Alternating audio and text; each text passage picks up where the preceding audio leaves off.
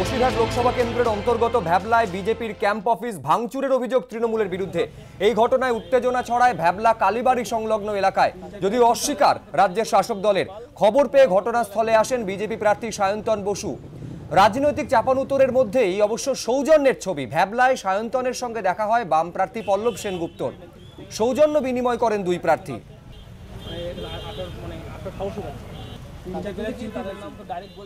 মানে